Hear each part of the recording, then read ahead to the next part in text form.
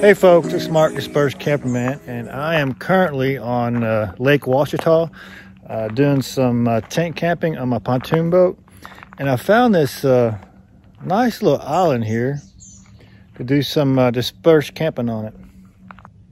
Yeah, Lake Ouachita has over uh, 200 islands you can choose from.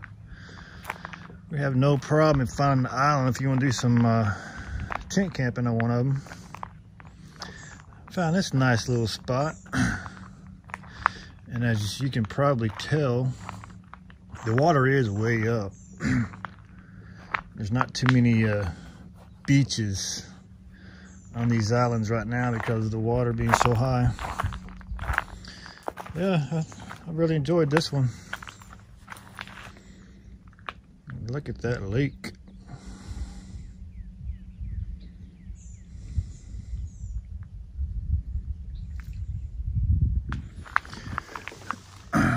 This water is pretty clear. It's surprising this water is this clear. All the rain we've had.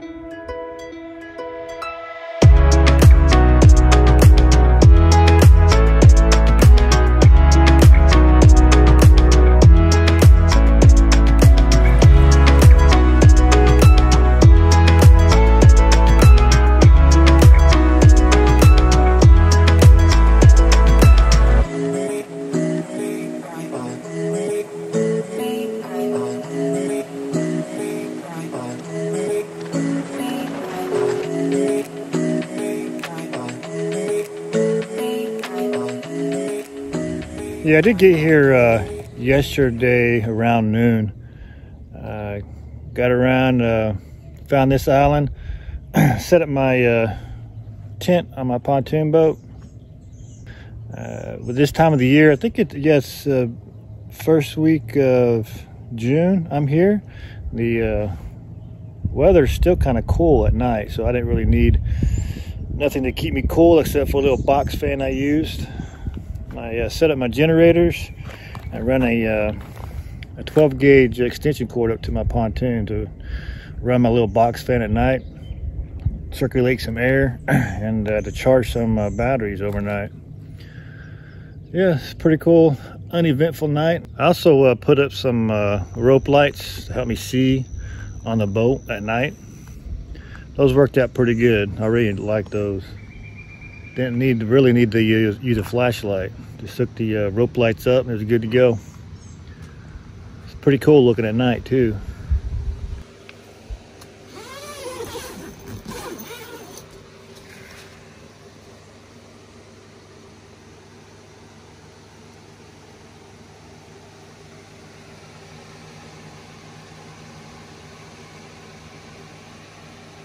Yeah, folks, this is a pretty cool little uh, camp spot right here. And as usual, I'm gonna go ahead and leave the uh, great corners of this spot in the video description. And also, uh, Lake Ouachita like I said earlier, does have over 200 islands that you can camp off of if you want to. And also, like I said, the water right now is pretty high, and most of the beaches are underwater. But other than that, it's a pretty good uh, spot to do some uh, dispersed camping on. Yeah, the main reason I come up here in my pontoon boat was do some uh, scuba diving. What I was wanting to do is uh, there's an underwater memorial for uh, Adam Brown. He's a Navy SEAL guy who uh, grew up in Hot Springs. And from what I'm hearing, his memorial underwater is the only one in the United States. So what I did is went down there and uh, geared up my dive equipment. And uh, I'm to show you guys how to find it. And it's a pretty cool little memorial underwater. It's only about 24 feet underwater. But yeah, it's a pretty cool little uh, dive right there. And if you're interested in uh, finding that spot yourself, I will leave the grid coordinates uh, in the video description also. Hey guys, I appreciate you guys for watching. Please hit that like button, subscribe button, and uh, leave a comment if you like. Hey guys, hope you enjoyed the rest of the video. Thanks for watching.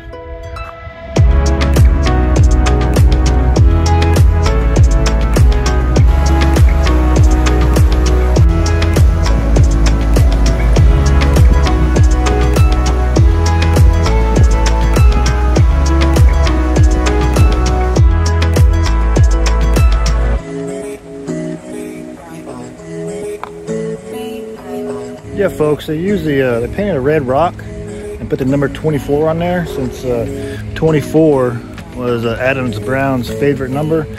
Also, it was his uh, jersey number when he went to high school in Hot Springs. So when you see this uh, 24 on the bank, go straight down the water about 24 feet. That's where you'll find his memorial.